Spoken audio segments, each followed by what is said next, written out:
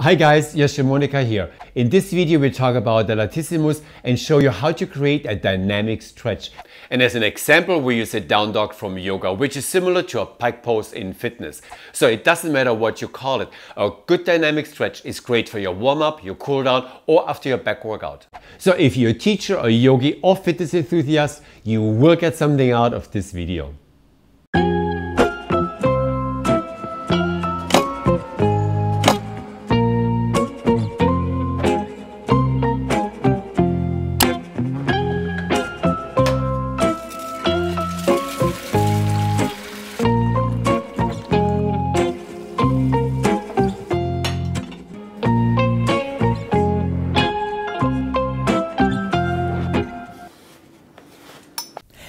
Wake up in the morning and you feel a little stiff, or you're tight after sitting at a desk all day, or you want to reset the length of your muscle fibers after a strong back workout, this dynamic stretch for the latissimus is perfect for you. So let me set up down dog first so you have a solid foundation to get the most out of this stretch. And I know most of you will probably have some kind of experience with down dog already, but it's always good to get a little refresher and maybe I have some insights for you to take your down dog to the next level.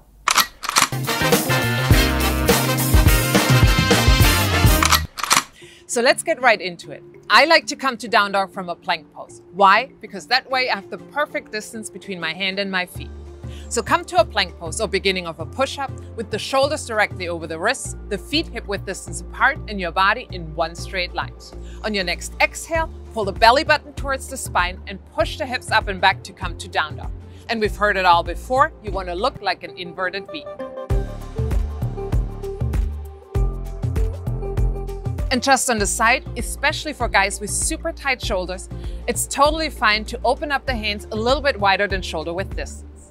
Now, the most important cue for our dynamic stretch for the latissimus is that you externally rotate your upper arms. Joschi is going to talk about it a little bit more in just a moment. Your spine is completely straight. And keep in mind, the neck is part of the spine, so you don't want to overarch or tuck in the chin too much. The hips are pointing straight up and ideally your legs are completely straight. Now if you have super tight hamstrings, it's perfectly fine to slightly bend your knees. Your heels are pushing down towards the floor, but keep in mind, it is more important to keep the spine straight rather than pushing the heels down. And just a tip on the side, if you look back to your feet and cannot see your heels, that means your feet are perfectly aligned and parallel to each other. If you can see your heels, that means your feet are either turned in or turned out and you need to adjust.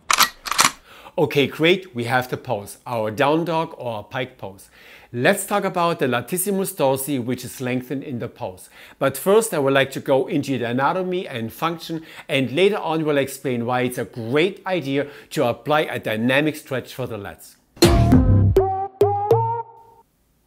The latissimus dorsi is an important muscle of the back. It's a flat, fan-shaped muscle. Latissimus means the broadest, and dorsi refers to the back, so it's the widest muscle we have in our body. And just by the way, the second largest one right after the glutes. The origin, the starting point of the latissimus dorsi is in the middle of our thoracic spine, from T7 to T12, lumbar spine L1 to L5, including the sacrum. The attachments are the spinous processes of the vertebrae, and in the lumbar region, the thoracolumbar fascia. What makes the latissimus so unique are the attachments and they can vary from person to person. For example, the attachments on the ilium or to be more specific, the iliac crest, the top, the upper lip of the pelvis.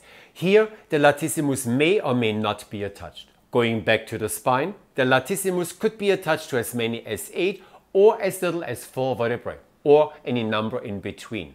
Talking about the attachments on the rib cage, the lats could be attached on three or four of the bottom ribs. And to top the story and talk about the attachments on the shoulder blades, most anatomy lessons simply skip over it. When I studied anatomy and I did my research, I read about this physician who opened 200 cadavers and found that over 70% of them had an attachment on the inferior part of the scapula. So it's safe to say that the majority of us have an attachment on the bottom of the shoulder blade. That adds two more actions to the latissimus. One would be depression when the shoulders are pulled down, and the second would be a shoulder blade adduction or what we call in fitness a shoulder retraction when the shoulder blades are brought closer towards the midline. Anatomically, the latissimus is a muscle of the back, but functionally it's a muscle of the upper limbs. Now while the muscle moves towards the insertion point on the upper arm bone, the muscle becomes a tendon, twists 180 degrees so the top fibers are now on the bottom and vice versa, and it goes around and in front of the teres major, one of the rotator cuff muscles.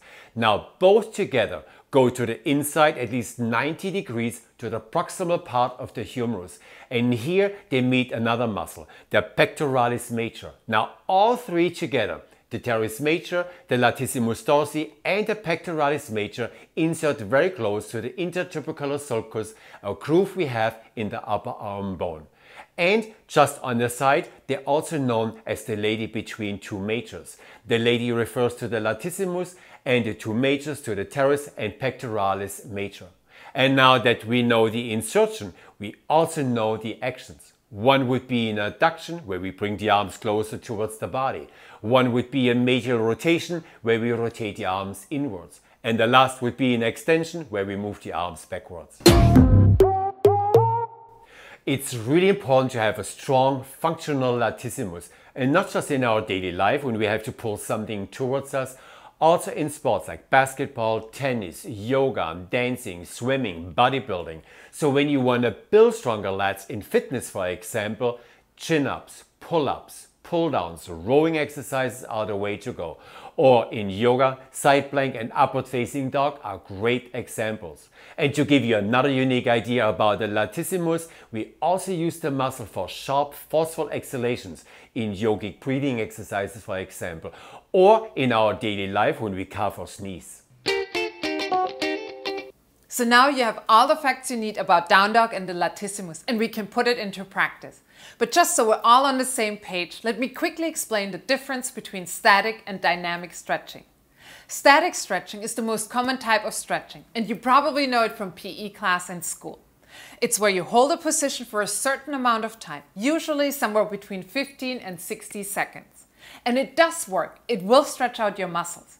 However, a relaxed, elongated and flexible muscle comes with a rubber band effect, which means you won't be able to contract your muscle the way you want during your workout.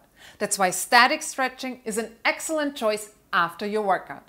Before the workout, I would recommend dynamic stretching. So, what is dynamic stretching? It's a type of stretching that involves repetitive, controlled, smooth and deliberate movement to help you prepare your body for a more powerful workout. And what I like the most about dynamic stretching is that it activates the sympathetic nervous system. And with that, you have optimal neural firing to activate the right muscle at the right time during your workout. And another great benefit, dynamic stretching increases blood flow and with that you get more oxygen and nutrients to the working muscles. And of course, you can always finish your workout with a dynamic stretch or implement it into your cool down towards the end of your fitness class. And last but not least, if you want to help your body wake up in the morning after a good night's sleep, a good dynamic stretch will help you to reset the length of your muscle fibers to ease you into the day. Let's apply our dynamic stretch for the latissimus in downward facing dog or pike pose. Like Joschi mentioned earlier, one of the functions of the latissimus is to internally rotate the arms. So in order to stretch the lats, we have to externally rotate the arms. So from downward facing dog, first sink into your shoulder socket. From here, engage your core muscles, especially the hip flexors, and push the floor away with your hands and move slightly backwards to start to feel a lengthening in the back. At the same time, externally rotate your upper arms to get to the stretch for the lats. And if you want the visual, you want the eyes of the elbows facing forward. Now create a smooth movement and repeat this six to eight times. And to give you a few ideas for your next back workout and how to activate and lengthen the latissimus, watch our quick video with a short flow. And if you want to follow along, I put the poses in the description box below.